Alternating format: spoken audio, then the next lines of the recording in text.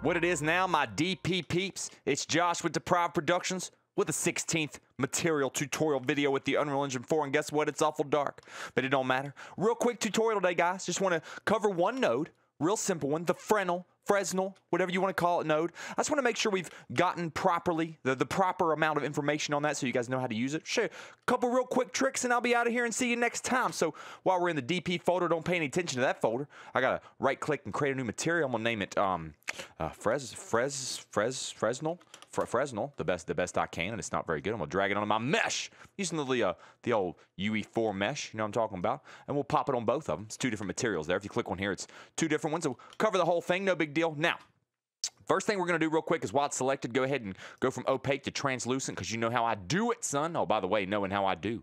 We're going to drag it over here like that, right? Right? All right, but anyway, the point is, so we got our we got our nothing here, right? I just want to I want to I want to do something real quick. Type in the word Fresnel. You can press F R E and you'll see it right here, okay?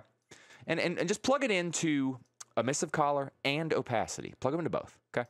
I just want to show you guys what's happening here and why so you understand. Now look at your mesh after it loads up. See, see what's going on there? Okay, so a couple things we can do with that. There's there's two exponent two, two exponents here. We're not going to mess with much else. This this imagine this number right here. This one, whatever it is, is basically how opaque or translucent it's going to be. So if I set it to one, you'll notice that all the opacity's gone. It's going to fill in the ball. Okay, right? We'll fill it in. Oh, okay. So let's let's let's set it way down to 0.01.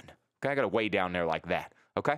So now it's got it's real opaque or real translucent in the middle. Now that ring and how thick or actually like how much that ring is actually, and that again is just literally the edges. Because if you go to the plane and look at it, you don't see anything.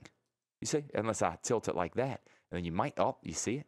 See how I see it when I'm tilting? Okay, it's the edge of the ball we're actually seeing. It's the edge. Zoom in here a little bit.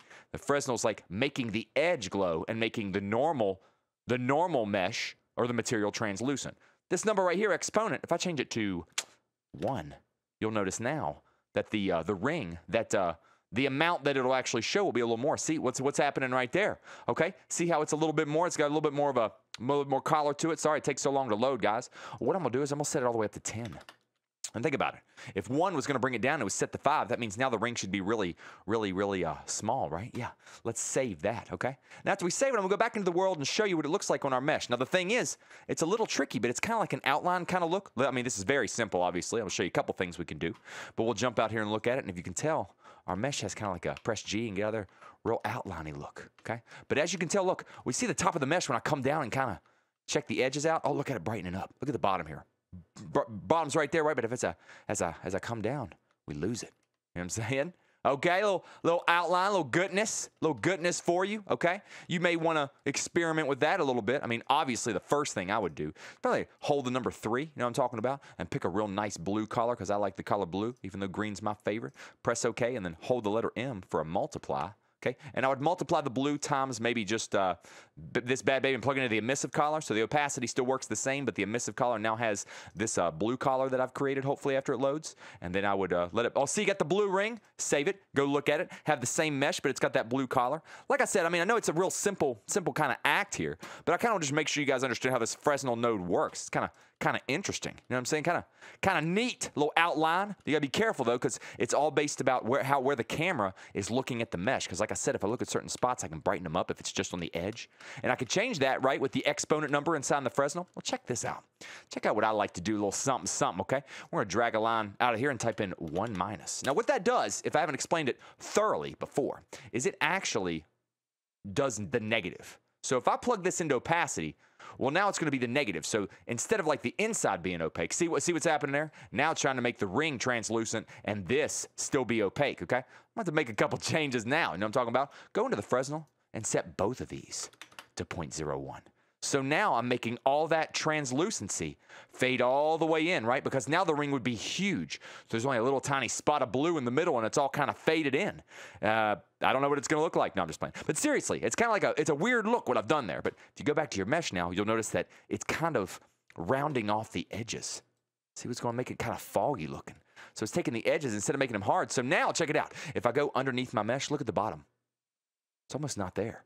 It's almost like it's not there. But as I come in, oh, you see it kind of fade in there? See what's going on? See as I go up, it's doing the opposite now. It's getting rid of it. Look, it's going, it's going translucent. You know what I'm saying? Now, this is a ball. So since it's a ball, it's kind of hard to get on just one side of it. But everything that's flat like this, you know I'm talking about, you can see it kind of disappear as I go down. Even the top of that. You know what I'm saying? Just different things. I mean, it's freaking sweet, guys. Really cool how the Fresnel works. Fresnel, Fresnel, Fresnel, Fresnel, Fresnel. I don't know what to call it, but it's cool. All kind of words. But like I said, couple different things to do there. You can do that kind of look, or like I said, go back and get rid of this bad baby. Get rid of that. And you want the ring kind of look. Plug it back into opacity. And again, make sure you set this back up to a bigger number. I mean, you could do maybe like a, a two. Okay. So if I do a two, it's going to have a pretty thick, pretty thick opaque ring on the outside of it where it's translucent in the middle. Okay. So again, I'll save it and we'll go back out and I'll just show you the difference between this and the first one. And again, guys, I know short tutorial. Really just wanted to cover this node because it's freaking sweet. And I know I hadn't really covered it in detail yet. So again, now if you notice, Okay, we got we got a little bit more of that light going on, okay? Now, but again, like if I'm look look look right at the bottom here. See how the bottom has the the blue as I come down? But as I get right underneath it, look, it's not there. You know what I'm saying? It's kind of trans it's like fading. Kind of a neat look though now, right? You like that? See what's going on there? A real sweet outliney look. And uh, you could put it on any mesh, I mean, honestly. But it really looked looked cool with the UE4 globe ball, the ball. But uh, but yeah, pretty sweet, guys. Hey, just real quick, thanks for watching. Appreciate you. Jumping in here, jumping out of here. That's how I do Deprived Productions all day, every day. Josh here, loving you and missing you. Go hit that, uh, subscribe to the YouTube channel, Deprived Productions. We got all kind of cool stuff. Just wanted to cover something real quick. Hit the Facebook page, Deprived Productions every day. We've been hitting a lot of UE4. I'm about to bounce back into a couple other things, but before then, I got some other cool stuff to show you. So get ready. Appreciate you guys. We'll see you soon. Until then, peace.